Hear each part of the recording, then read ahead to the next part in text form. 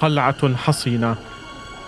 بابها الوحيد حديد صلب وجدارها لا ينتهي أينما أشحت بناظريك. أما أبراجها السبعة التي توشحت بالسواد فتطل من فوق الجدار كرؤوس الشياطين. هذا ما قد تحس به إذا وقفت مكاني ها هنا وهذا بالضبط ما أراده من صمم هذه الجدران. أن تثير الرعب في النفوس. ليس نفوس من يحاول دخولها فقط بل أن تقتل آمال من يدخلها يوما. في الخروج. في بودكاست فصول نسافر إلى فيلادلفيا عاصمة ولاية بنسلفانيا الأمريكية إلى أحد أهم السجون المهجورة في العالم إن لم يكن أهمها كلها. أول سجن إصلاحي في التاريخ. صرح لم يسبق له مثيل.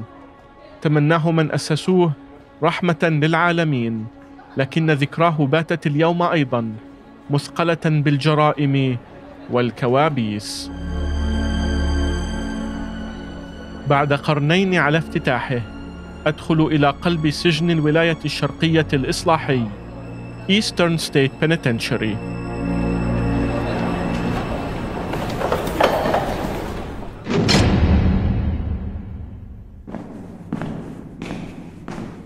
كيف غيرت قصة هذا المكان عالمنا؟ وماذا تقول لنا أنقاضه عن واقع السجون اليوم؟ أنا أحمد الضامن وهذا بودكاست فصول Fairfax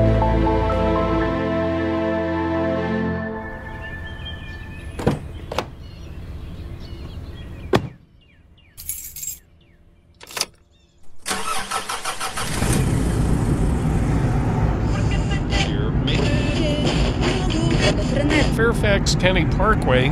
Single left lane gets you by that work zone.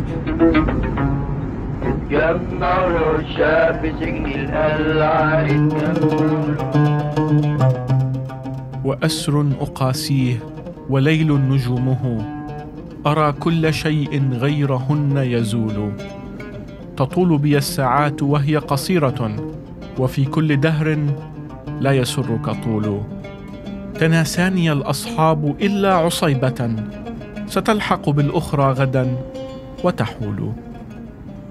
كلمات قلتها في نفسي وأنا أقود سيارتي على الطريق السريع 95 إلى فيلادلفيا. الرحلة ثلاث ساعات إذا لم يعترضنا ازدحام. الشعر والموسيقى تسلية جيدة على الطريق وهذه القصيدة بالذات مناسبة جدا لرحلتي. فقد تم نظمها في زنزانة. صاغها أبو فراس الحمداني منذ أكثر من ألف سنة. وما زالت قصيدته مصابي جليل والعزاء جميل من أكثر القصائد تداولا حول تجربة السجين. السجن وقتها كان مرحلة يمر بها السجين في انتظار العقاب. أو في حالة أبي فراس كان الشاعر بمثابة غنيمة لجيوش الروم. املا في فدية من ابن عمه سيف الدولة أمير حلب في القرن العاشر للميلاد. العقاب قد يكون دفع غرامة أو النفي أو الإعدام. السجن كان بؤرة قذرة تتفشى فيها العدوى ويمارس فيها التعذيب. لم يكن بالضرورة العقاب نفسه. لكن بعد ثمانمائة سنة ستتغير المسألة. مع صدور كتاب.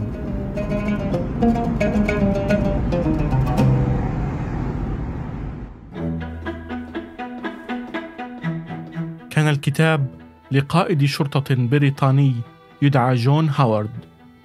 قبع هاورد أسيرا في سجون فرنسا في منتصف القرن الثامن عشر قبل أن يبلغ الثلاثين. وبعد عودته إلى بريطانيا تم تعيينه قائدا للشرطة. تفاجأ هاورد بأوضاع السجون في منطقته وقرر دراسة أوضاع السجون في بريطانيا كلها وقدم هذه الدراسة في كتاب أضاف فيه اقتراحا حول تطوير أوضاع السجون كتب هاورد أن كل سجين يستحق غرفته الخاصة ويجب أن يمنح فرصة للتأمل والتوبة الصادقة. شغف هوارد بالمسألة جعله ينفق كل ميراثه العائلي على دراسته. شغف قتله في النهاية أثناء زيارته لأحد السجون في أوروبا الشرقية. على الجانب الآخر من العالم، أفكار هوارد ستؤثر في مؤسس مدينة فيلادلفيا ويليام بين واثنين من الآباء المؤسسين للولايات المتحدة الأمريكية. ثلاثتهم بدأوا العمل على إنشاء أول سجن إصلاحي في العالم.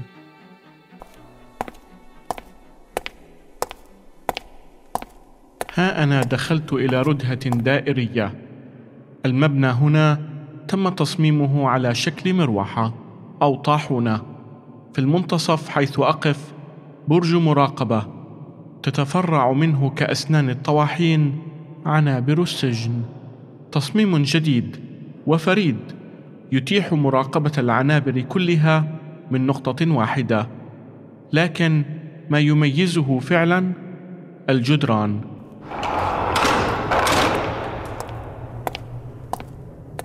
كل جدار تفوق سماكته أربعة أمتار. ذلك ينطبق على الجدران بين كل زنزانة وأخرى والأبواب نفسها. آمن من أنشأوا هذا السجن أن الطريقة الوحيدة للتوبة هي الصمت والهدوء التام وأن على كل مرتكب معصية أن يجلس في زنزانته في هدوء ليطالع الكتاب المقدس ولا يختلط بالنزلاء الآخرين إطلاقا كما لا يسمح بالزيارات العائلية. ساعة واحدة في اليوم سيقضيها السجين خلال مدة محكوميته في شرفة خارجية. نعم.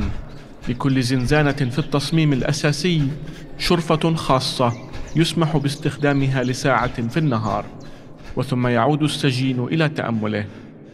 الزنزانة فيها أيضا مرحاض خاص وتدفئة مركزية آخر ما توصلت إليه تكنولوجيا ذلك العصر. تصميم جعل هذا المبنى أكثر المباني تكلفة في أمريكا وقتها. توقيت غريب لوضع هذا الاستثمار الضخم في مبنى كهذا رغم أن الولايات المتحدة لم تكن مضى على تأسيسها خمسون عاما بعد.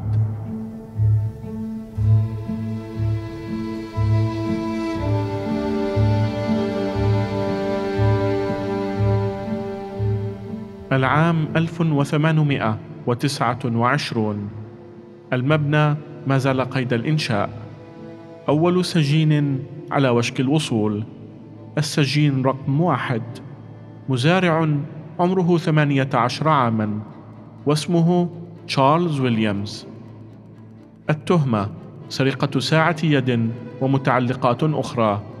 صدر الحكم بالسجن لعامين.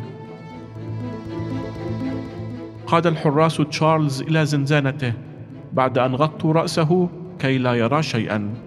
سيقومون باتباع الخطوات نفسها مع كل سجين جديد. وصلتهم من إدارة السجن تعليمات مشددة للزوم الصمت. الحراس أنفسهم يجب عليهم ارتداء أكياس تغلف أحذيتهم كي لا يصدروا صوتا وأن يكتموا صوت العربات بأشرطة مطاطية. السبب وراء هذه الإجراءات كان نتاجا عن إيمان ويليام بين مؤسس فيلادلفيا وآخرين بأنك تستطيع أن تجد جانبا طيبا في كل إنسان وأن التأمل ودراسة الكتاب المقدس يشكلان الطريقة الأمثل لإصلاح أي خلل في النفس البشرية.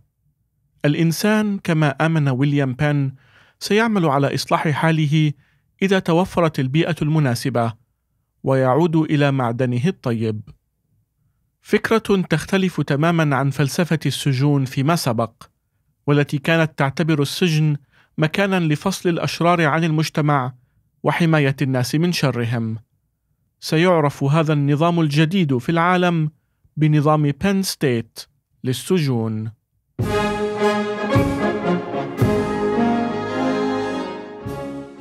لم تمر أشهر قليلة قبل أن يصبح سجن بن ستيت حدثا عالميا. خبراء من جميع أنحاء العالم ومشاهير ذلك العصر مثل الكاتب البريطاني تشارلز ديكنز صاحب رواية قصة مدينتين يزورون السجن. كان من أول الزائرين وفد من فرنسا قام بدراسة حال السجن ونسخ مخططاته. ثم ما لبثت مشاريع أخرى في الظهور. تحاكي النظام نفسه في التصميم والفلسفة. وصل عدد هذه السجون أكثر من 300 سجن. فرنسا، الصين، اليابان، بريطانيا، المكسيك وروسيا وغيرها الكثير. لديهم اليوم سجون صممت على نفس الطراز ولنفس الهدف. لم يشهد العالم حتى يومنا هذا. سجنا صنع هذا الأثر الكبير كسجن بن ستيت انتهت أعمال البناء وآن أوان الافتتاح عام 1829 كان افتتاح السجن حدثا كبيرا. خمسة عشر ألف زائر. زاروا سجن بن ستيت في سنته الأولى.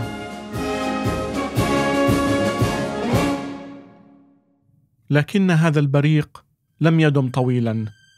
عندما زار تشارلز ديكنز السجن كتب أن العزل التام أو ما نعرفه اليوم بالسجن الانفرادي ما هو إلا نوع قاس من التعذيب.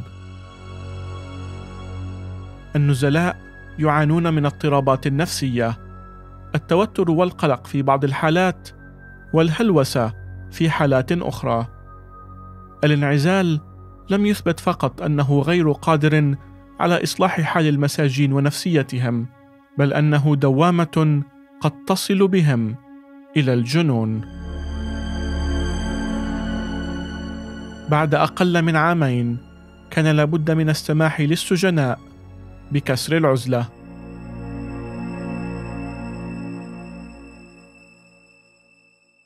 استمر نظام العزل التام في التداعي بشكل أو بآخر حتى ألغته إدارة بين ستيت تماما بعد مئة عام.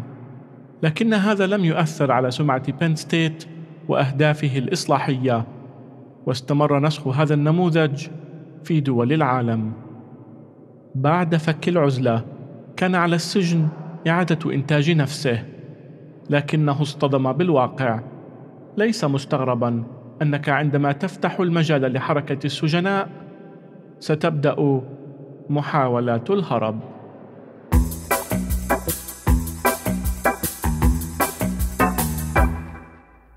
أول محاولة للهرب. كانت بعد ثلاث سنوات من افتتاح السجن رسميا. السجين رقم 94 ويليام هاملتون. عمل كنادل لمدير السجن. وانتهز ويليام هذه الفرصة الثمينة واختار التوقيت المناسب. سرق مفارش وأغطية سرير المدير. وصنع منها حبلا تسلق به الجدار. تم القبض عليه بعد بضعة أيام وإسناد المهام نفسها إليه مرة أخرى. فأعاد الهرب بنفس الطريقة ولم تكن محاولته الثانية أكثر نجاحا من الأولى. بعدها بتسعين عاما سينجح خمسة سجناء بصنع سلم بدائي ويهربون بنفس طريقة ويليام هاملتون.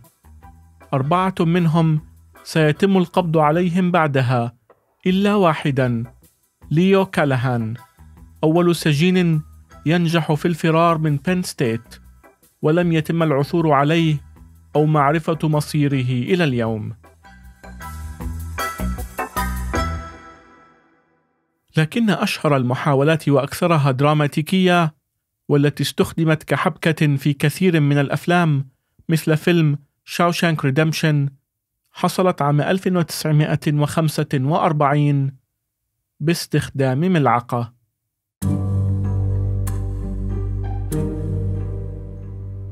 أنا الآن في الزنزانة 68 أنظر إلى باب النفق الذي وجده المنقبون. أقام في هذه الزنزانة اللص المغمور كلارنس كلادنست الذي كان موهوبا في أعمال البناء والتصليح. قبلها بعام ينجح كلارنس في إقناع إدارة السجن بنقله إلى الزنزانة رقم 68 والتي كانت تحتاج لإصلاحات بحجة ترميمها. ثم يبدأ في حفر نفق تحت الأرض باستخدام ملعقة طعام. بينما كان يقوم بذلك كان زميله في الزنزانة على السطح يهم بصنع لعبة خشبية بحجم كلارنس. ويضعها تحت الفراش حتى يطمئن الحراس إلى أن كلارنس نائم في الزنزانة. ثم يعود كلارنس ليغطي باب النفق بمواد البناء. السجينان يتخلصان من التراب الزائد بإلقائه على فترات في المرحاض. عملية الحفر ستستغرق 18 شهرا. يحفر خلالها كلارنس. مقاسيا نقص الأكسجين ورائحة الصرف الصحي الخانقة. إلى أن جاء اليوم الموعود. ينزل السجناء. أولهم كلارنس. في حفرة عمقها أربعة أمتار.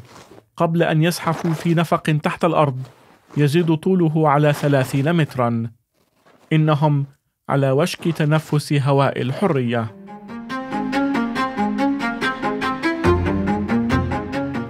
قبل أن ينزلوا إلى النفق بعض السجناء يصر على انتظار بعضهم الآخر. يسبب ذلك مشكلة أخلت بساعة الصفر. بعد أن زحفوا إلى الجهة المقابلة وبدأوا في الهرب كانت الشمس قد أشرقت واستطاع حراس السجن رؤيتهم. ستة منهم تم القبض عليهم في اليوم نفسه والستة الآخرون عادوا مكبلين إلى السجن في غضون أشهر.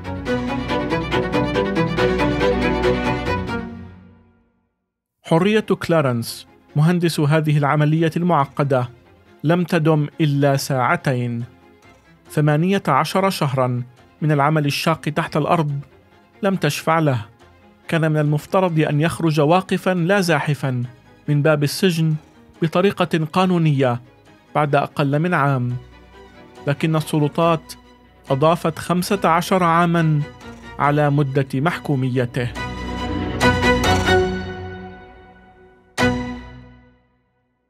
وأنا أنظر الآن إلى هذه الحفرة المتقنة في الجدار لا أستطيع أن أتخيل كيف تم حفر هذا النفق بملعقة طعام. طوال قرن ونصف لم ينجح أحد في الهروب من سجن بين ستيت سوى ليو كالهان.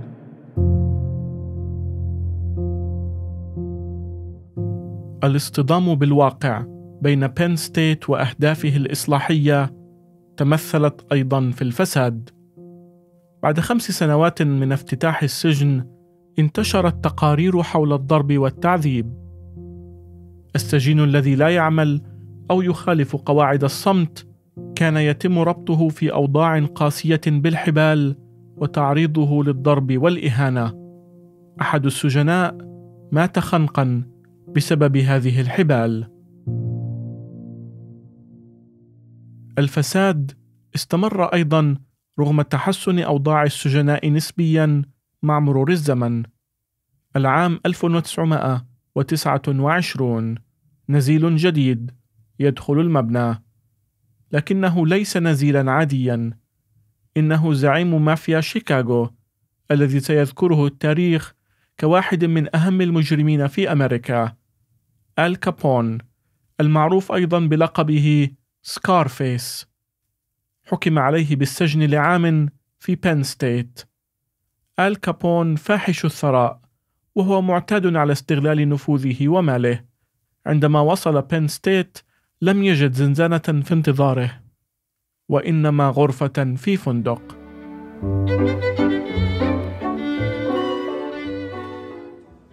أقف أمام غرفة آل كابون في العنبر رقم ثمانية.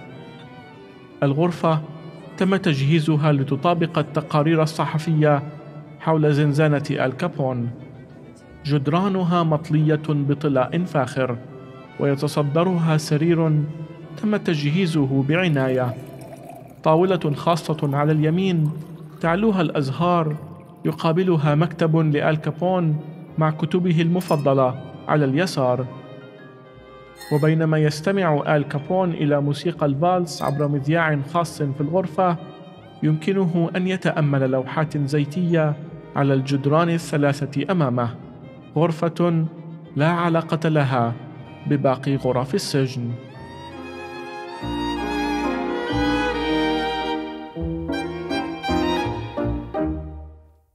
بعد أكثر من قرن على افتتاح بين ستيت وبعد أن تبين أن نهجه الإصلاحي لم يؤت ثماره كان لابد من التغيير. بدأ التركيز على صحة السجناء يأخذ حيزا مهما في السجن وأقيم جناح متخصص يحوي آخر ما توصلت إليه تكنولوجيا ذلك العصر من أجهزة للأشعة وغرفة عمليات. عملية جراحة قلب مفتوح تمت بنجاح في أروقة هذا السجن. الصحة النفسية أيضا ظهرت بوضوح في نشاطات السجناء الرياضية والفنية. لم يكن الوضع مثاليا بالطبع. السجن يبقى سجنا واستمرت أخبار عن أعمال العنف بالوصول. مثل محاولة بعض السجناء الهرب بالقوة عام 61 في القرن الماضي فكان رد حراس السجن عنيفا وتلطخت الجدران بالدماء. لكن لحسن الحظ ورغم وقوع إصابات جسيمة لم يمت أحد. هذا الإصرار على عدم التخلي عن الأهداف الإصلاحية للسجن جعل سمعة بين ستيت جيدة وكان السجناء يفضلون أن يقضوا محكوميتهم فيه على عكس السجون سيئة السمعة مثل سجن سينغ سينغ في نيويورك و دي إكس في كولورادو. هذه السمعة وهذا الإصرار على تجديد أساليب التعامل مع السجناء لم يكن كافيا. تم إغلاق السجن نهائيا عام 1971 بعد أن استمر في العمل لمائة وخمسين عاما.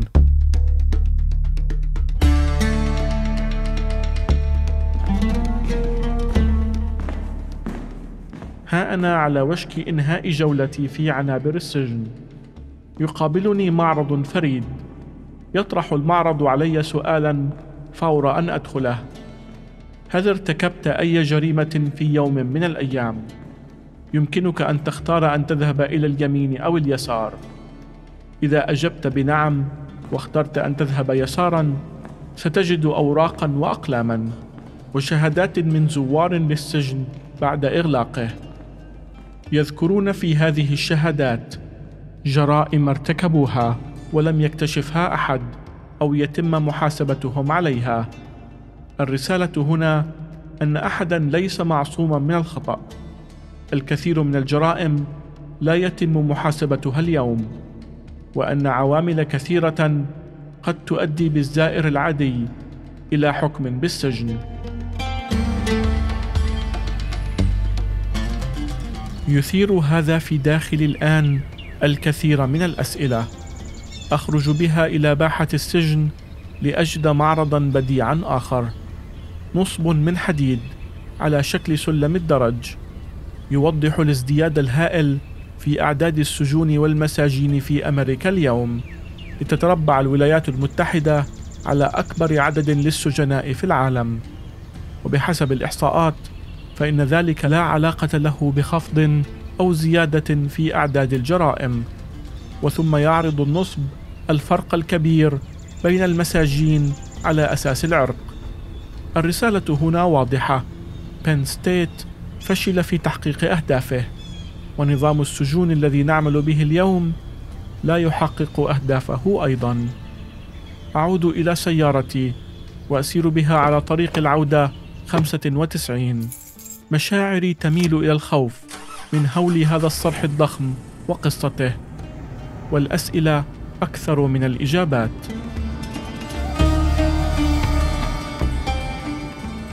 قصة بين ستيت لم تنتهي بعد. كان يمكن أن يتحول هذا المكان إلى خراب. صرح منسي فشل في تحقيق أهدافه. لكن القائمين عليه حولوه إلى مكان لا يدعي أنه يقدم الإجابة حول مشكلة الجريمة والعقاب بل يطرح الأسئلة الأهم حول واقعها وتحدياتها. وفي هذا فإن بين ستيت قد نجح نجاحا كبيرا. أنا أحمد الضامن وهذا بودكاست فصول.